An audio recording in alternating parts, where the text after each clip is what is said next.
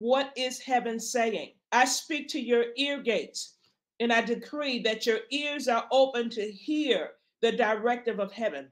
I speak to your eyes and even your discernment. I decree that this is a season and time that you are discerning the presence of the Lord and the mandate of heaven. I speak this over you. Some of you, you have ministries that you become stagnant and you're stuck and it's stale and it's old I speak to that now. And I decree that there's a courage and a boldness coming into you, and you will begin to rise up and you will move forward with Him. Mm. You will move forward with Him. God has not changed His mind about you.